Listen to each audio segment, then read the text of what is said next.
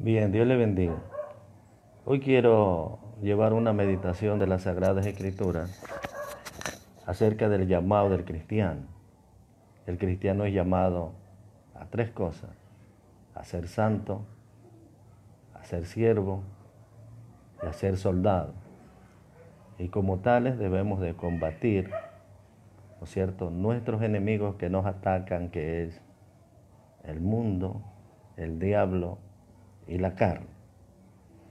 Entonces regularmente, como santo, triunfas sobre la carne.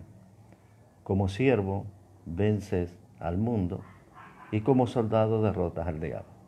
Eso sí, una persona no tiene estos tres llamados o no está cumpliendo estas tres cualidades, significa que este cristiano va a ser derrotado por el mundo, por el diablo o por la carne.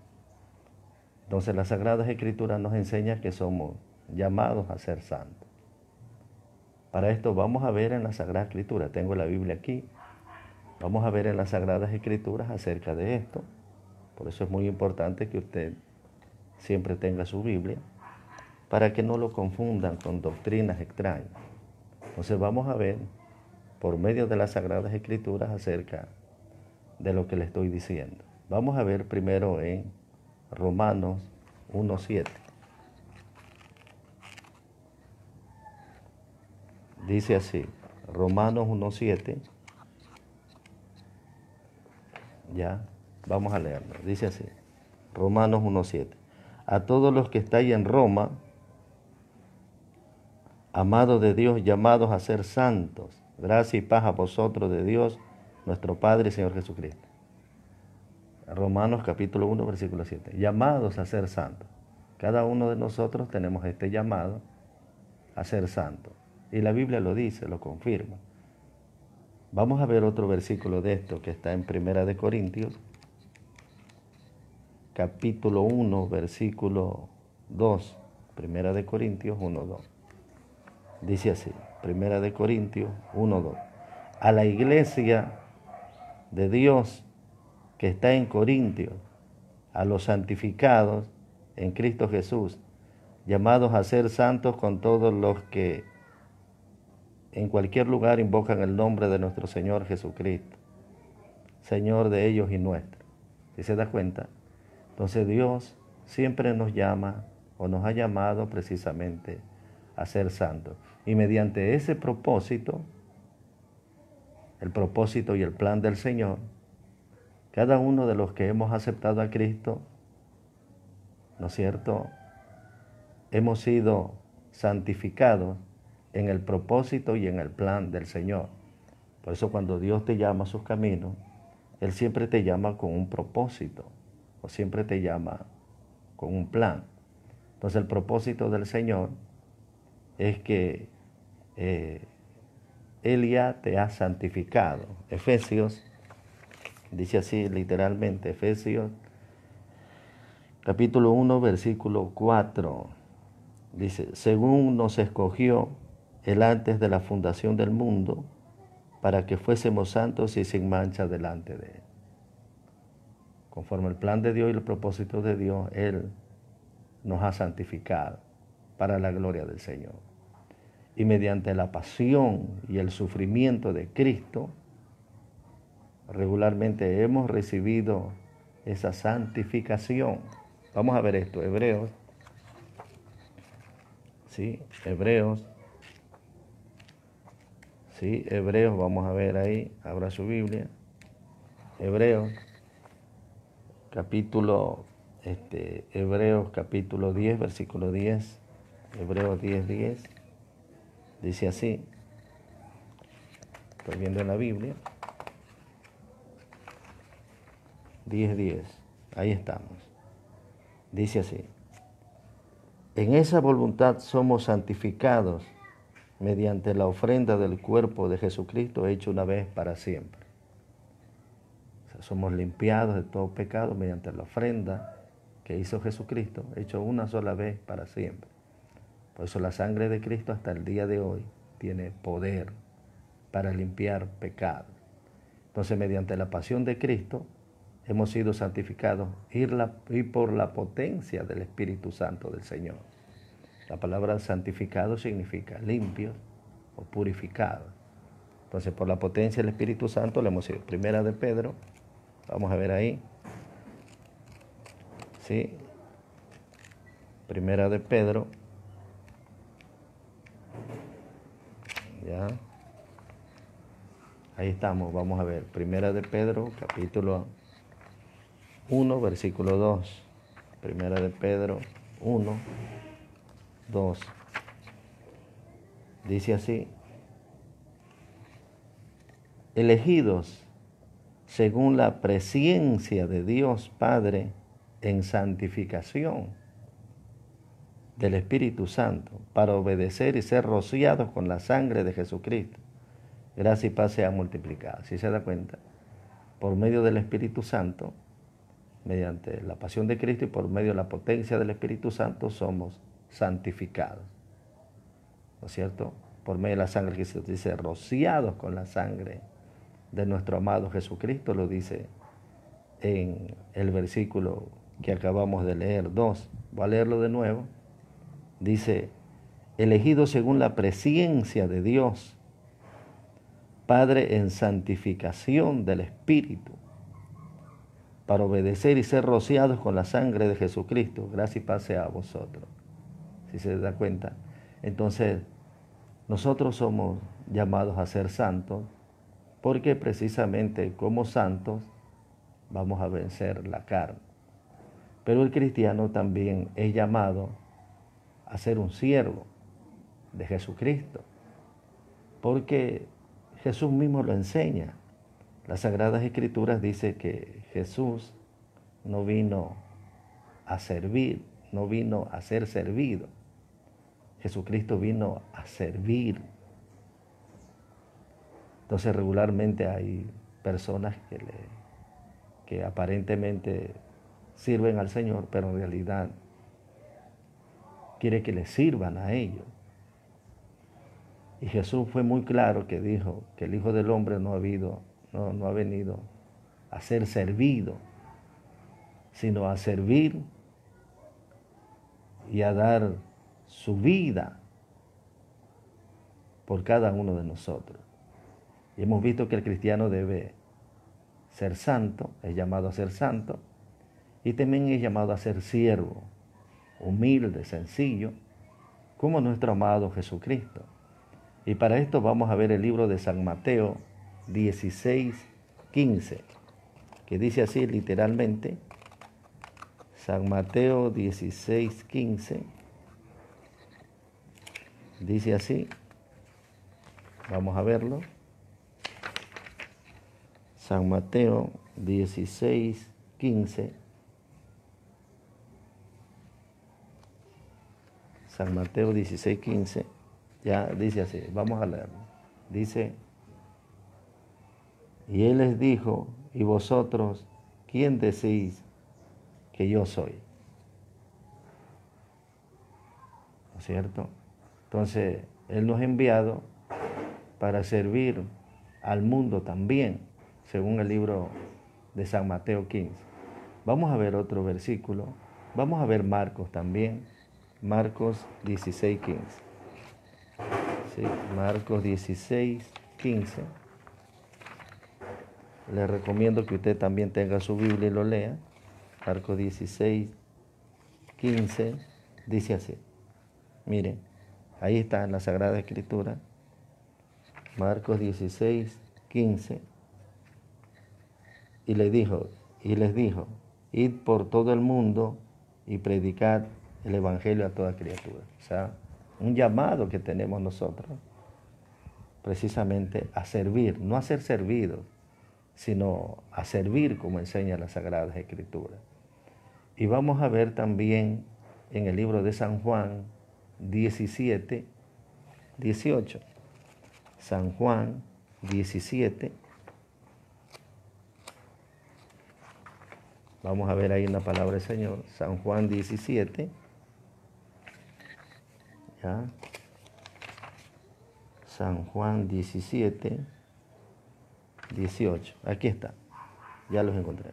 Vamos a ver lo que la palabra del Señor nos dice. San Juan 17, 18. Ahí está. San Juan 17, 18. Como tú me enviaste al mundo, así yo los he enviado al mundo. O sea, tenemos un llamado a ser siervos, a servir. Por eso el cristiano siempre debe aprender, ¿no cierto?, a ser manso y humilde. Y también debemos de servir al Señor. Por eso el Señor dice, el que me sigue y me sirve, mi Padre le honrará. Entonces, como siervo del Señor, como esclavo de Cristo, nuestro deber es servir al Señor, como vemos el ejemplo bíblico del mismo amado Jesucristo. Entonces, brevemente hemos visto que el cristiano es llamado a ser santo y es llamado a ser siervo del Señor, esclavo de Jesucristo. Y hay mucha gente que no le gusta esto. Por eso usted les dice, siervo de Dios. Se ponen molestos. No me diga siervo, dice. Yo soy un, yo soy un príncipe. Y si es una sierva, le dice, no, no me diga sierva. No me diga sierva. Yo soy, dice, una princesa de Dios. Todo eso es verdad. Pero no puedes negar que Dios te llama a ser siervo y sierva de Dios, a servir con humildad al Dios Todopoderoso. Por eso estas tres cualidades son importantes. Ser santo, que hemos sido llamados, a ser siervo, y regularmente hemos sido llamados a ser soldados de Jesucristo. Por eso el cristiano es un soldado de Jesús. Segunda de Timoteo 2.3. Segunda de Timoteo 2.3. Vamos a verlo. Aquí en la Biblia dice. Segunda de Timoteo 2.3. Tú pues sufre penalidades como buen soldado de Jesucristo. Sufre penalidades. La palabra penalidades significa trabajo difícil. Sufre penalidades como buen soldado de Jesucristo cierto? Porque somos soldados de Cristo y debemos de sufrir penalidades. La palabra penalidades significa trabajo difícil. Si tú no eres, entonces regularmente esto es lo que enseña las Sagradas Escrituras. Por eso este, al cristiano debe saber que como soldado Dios te ha provisto de un armamento. Pero este armamento regularmente no es un armamento humano o terrenal, sino que es un armamento espiritual. Por eso dice la Sagrada Escritura que las armas de nuestra milicia no son carnales, sino son poderosas en Dios para destrucción de fortalezas. Porque nuestra lucha no es contra carne ni sangre, sino contra principales potestades, contra huestes espiritual de maldad. Entonces el cristiano debe saber que tiene armas y lo podemos ver en Efesios 6, del 11 en adelante, que habla acerca de la armadura del Señor. ¿No es cierto? Entonces, como soldados tenemos armas, tenemos una armadura de parte del Señor para luchar, como enseña las Sagradas Escrituras, tales como la palabra del Señor, ¿no es cierto? La espada del Espíritu, la oración y sucesivamente. Entonces, si nosotros no somos santos, no somos siervos y no somos soldados, entonces como tales no podremos vencer a la carne, al mundo y al diablo. Porque como siervo vences al mundo, como santo triunfa sobre la carne y como soldado derrotas al diablo. Por eso estas tres cualidades son muy importantes. Hay gente que regularmente son exagerados en la santidad, viven una santidad exagerada, pero no son siervos porque no les gusta servir al Señor. Usted ve, van a la iglesia, oiga, es increíble una santidad que hasta por los poros le sale la santidad Es increíble, solo hablan de santidad, pero en el momento de servir al Señor no lo hacen. O sea, le falta la cualidad de siervo. Son altivos y arrogantes, pero en la santidad da hasta miedo escucharlos, como hablan de la santidad. Pero no son siervos, porque el siervo es el que sirve al Señor y no le gusta trabajar en las cosas del Señor, no hacen nada dentro de la iglesia ni fuera de la iglesia. Entonces le falta ser siervo, ¿no es cierto? Entonces, porque siendo siervo, regularmente vas a vencer al mundo. Pero hay gente que es siervo, o sea, gente que les gusta servir al Señor, pero no les gusta la santidad. Por predican, eh, evangelizan, oiga, y hacen de todo lo que en el servicio al Señor. Pero no hay santidad, ¿no es cierto? O sea, sirven, pero sin santidad. Y el Señor dijo, muchos me dirán en aquel día, en tu nombre echamos fuera demonios, en tu nombre hablamos nuevas lenguas, en tu nombre sanamos a los enfermos. Pero el Señor le va a decir, apartaos de mí, hacedores de iniquidad. ¿No es cierto? Porque sirven al Señor, pero no hay santidad. Pero una santidad bíblica, no como una santidad. Hay muchas personas que hablan de santidad y ni, saben ni lo que dicen. La santidad está en la Biblia. Usted viva una santidad conforme a la Biblia. Si la Biblia dice que algo es pecado, es pecado. Pero ahorita hay una dimensión tremenda de las personas que de su propia mente sacan lo que es bueno y lo que es malo, pero no bíblicamente. Te obligan a vivir una santidad exagerada que no es de parte del Espíritu Santo del Señor. Por eso Dios te dejó claro qué es lo que Él demanda para ser santo. ¿No es cierto? Entonces, regularmente, esto sucede a veces. Hay gente, hay cristianos que son, ¿no es cierto?, santos y son también siervos o sea, viven en santidad y le sirven al Señor, pero no son soldados. Te ve medio una cosita y ya los quiebra, deja de luchar. Medio una aflicción con la familia ahí, ya no sale a predicar, ya no, no, no les gusta luchar. Van donde un hermano que ayúdeme en oración, ministre, tíreme al piso, tíreme de cabeza al piso, ministreme. No son soldados, no les gusta luchar, no les gusta pelear las batallas. Por eso es que son santos y son siervos, pero no les gusta que le venga batallas espirituales, no les gusta que le venga pruebas, no les gusta que le venga aflicciones. Quiere todo facilito. Entonces le falta ser soldado. Soldado sufre penalidades. Cada cosa que nosotros hagamos para el Señor, siempre hay oposición. Y por eso que necesitamos ser soldados. Necesitamos batallar, pelear la buena batalla de la fe, utilizar las armas de luz. Por eso el apóstol Pablo dice a Timoteo, pelea la buena batalla de la fe, echa mano de la vida eterna. Entonces si quieren, ¿no es cierto? Repito, son santos y le sirven al Señor, pero no son soldados.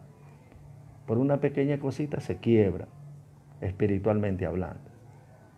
¿No es cierto? Por eso hay algunos que tienen una cualidad, pero le falta otra. Y regularmente así no funciona.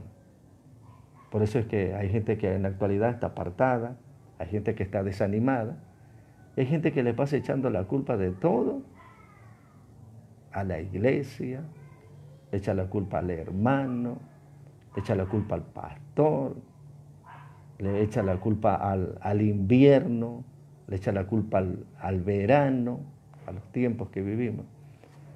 Le echa la culpa a la ropa, que no tiene la ropa adecuada, le, echa la culpa que no hay agua, le echa la, la culpa al dinero, ¿no es cierto? Es precisamente porque no le gusta batallar y no acepta sus propias responsabilidades. Por eso es muy importante que el cristiano aprenda a ser soldado, a ser santo y a ser siervo. Porque precisamente como siervo vas a vencer al mundo, como soldado vas a vencer al diablo, y como santo vas a vencer a la carne. Examínate qué cualidad es la que te falta. Y si te falta una cualidad, comienza a poner en práctica la cualidad que te falta. Pero necesitamos estas tres cualidades para ser vencedores con Cristo Jesús y poder decir, todo lo puedo en Cristo que me fortalece y con Cristo voy de triunfo en triunfo, de victoria en victoria. Amén. Dios le guarde y Dios le bendiga y adelante con el Señor.